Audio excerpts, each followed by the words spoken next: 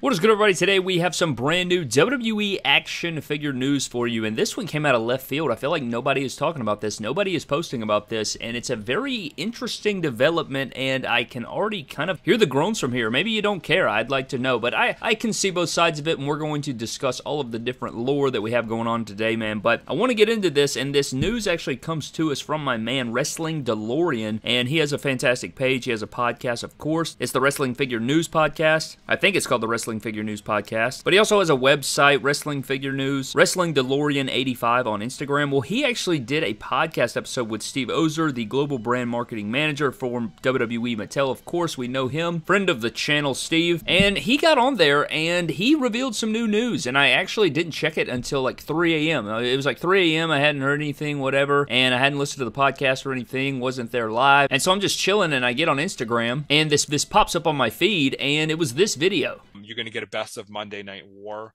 wave later this year that has iconic moments um, from the Monday Night War era. Same packaging, dates on packaging, but they are upgrades of figures that we have have previously done. Um, and I will I will reveal one of the figures now. It is the best of the Attitude Era Triple H, um, and he's upgraded with the new double jointed arms. Um, and that figure, you know, was a popular figure back when it was originally released. So so you're going to see figures like that included in this best of wave. Um, which if you purchase all four figures, you're going to be able to build NWO Vincent. So, you heard it here, man. We are getting a best of Monday Night War Elite wave that will be coming later this year. Not only are we getting a best of Monday Night Wars wave, we are also getting a brand new build a figure in this set, which is going to include the Vincent that we saw on display at WrestleMania 40 at the Superstore. So, I do remember telling you guys that Steve mentioned something about a bonus build a figure, and that seems to be the news here, man. We have a bonus build a figure Virgil figure in the NWO, but on top of that, we are getting best of Monday Night Wars figures, and one of those figures is going to be the Attitude Era or the best of Attitude Era Triple H Elite from back in the day with the DX shirt and the leather jacket. I didn't really care for that figure off the t- off off rip. I didn't really care for that figure when it first released, but this is very very interesting. What in the blue hell are we gonna do with another re-release wave, man? I mean, I have to tell you, at this juncture, if you're holding on to any old elites, man, you better get rid of them. I would get rid of them immediately. I've never been a min on card guy. I was never a min on card guy for WWE Elites. Of course, I might have a few in the collection, but it is not my forte. I do not really enjoy min on card collecting unless it's a one off and things like that. But man, if I were you and I were holding on to one of these rare pieces, man, today's the day. Just move it. Just get rid of it. Go ahead and sell it because I promise you they're going to re-release it. If it has any value whatsoever, it is getting re-released. And this is just there's so many there's so much to unpack here because this is another greatest hits wave. And let's just go let's count down, man. Let's count down all the different greatest hits, all the different re-releases that we have going right now.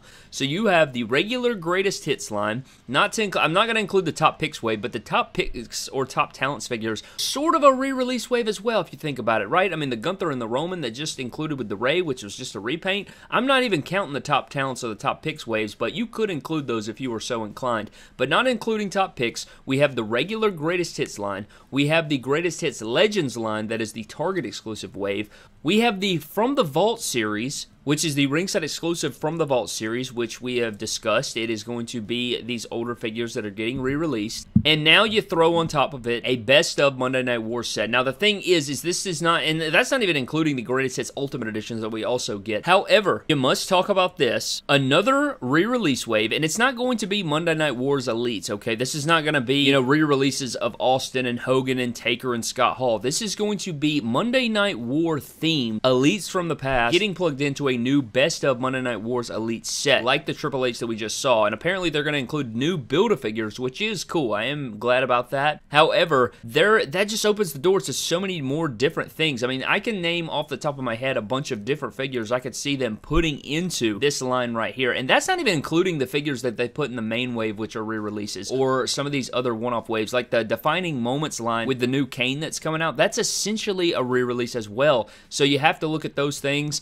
And so I just think there's so many different re-release waves now, man. I mean, it is crazy at the amount of re-release waves we're seeing from Mattel, and they're basically telling you if you have some of those older figures, and I will say they are outdated. It does bum me out sometimes to think about great figures of the past. And I'm like, damn, it has single jointed arms. That does bum me out. You know, man, the head sculpt's really dated. So it does make sense. They've been around for so long. I mean, they're going on almost 15 years of Mattel making WWE figures. So I totally get it, but I also get the guys that collected those originally that wanted to sit on them or wanted to, you know, uh, have a piece that just holds value. Even if you didn't collect for value in the beginning, it is cool to see a piece increase in value, even if that wasn't your, you know, that wasn't your inclination in the beginning. Maybe you didn't want or care about the value, but if something naturally grows in value, it is cool to look back on. It, it's cool to have something that's, you know, you hold like that and then it grow over time. You're like, oh man, that actually goes for triple the price now. That's crazy. Or that goes for three, four hundred bucks now. That's crazy. I only paid $20 for that. So I do understand that part of it as well. It's just a very odd thing to see another best of figures set and it gets my brain moving because what if this is another way to get more Monday Night Wars figures out so they can try and revamp that damn stage, that crowdfunding stage. Now we know that there are no crowdfunding coming this year. I think they're going to sit on it for the rest of the year. But I think next year they are going to try their hand again at a crowdfunder. Now, is that going to be the Monday Night War stage? Is it going to be something related to the Monday Night Wars? Is it going to be the Raw is War stage, which I highly doubt? I don't know. Maybe they're going to run it back with better figure selection. Maybe they're going to scale it down and then rerun it. I don't know. We'll get into that. And I think those are definitely possibilities that are going to be on the table. It's just something that you got to think about. Why are they pumping out so many Monday Night Wars figures so fast and re releasing old ones to get those new collectors back in there? I don't know, man. I don't know, but that to have another re-release wave of figures coming is just not something that I thought of, and I I really don't care for that Triple H figure, that Attitude Era figure. It was cool for what it is, and you could also make that into so many different guys, right? So I guess it's not the biggest deal, but I mean there are plenty of figures. I can think of the Defining Moments Rock or the Rock and Sock Connection, or there's some Mankind's from back in the day. There's some Takers they could do. I mean, hell, I'm sure there's some different Hogans they could include, or some Nashes, maybe Elite 16 Nash. There's certainly things that they can rerun to put in this Monday Night War set, but I thought that was crazy that nobody was talking about that, and I definitely wanted to get on there and talk about it. But we also have a little bit more news here because I want to get into the WWE Elite Legends of the Territory Era 4 pack is apparently listed or going up for pre-order on May 15th on Mattel Creations. Apparently it's going to be, so I saw it posted that it was going to be 100 bucks, but then I also saw where it's going to be $80. Now I don't know what it is at first, but $80 for this pack seems fantastic. And you get a lot of cool pieces here. I think that everything included here is amazing. You get the championships. We've already run down the lore of this entire pack, but I do have to chime in here and say again that it is a very nice set. I like this set a lot. I'm really, really excited to see exactly what these guys look like. It's going to be an epic four pack here, Legends of the Territory.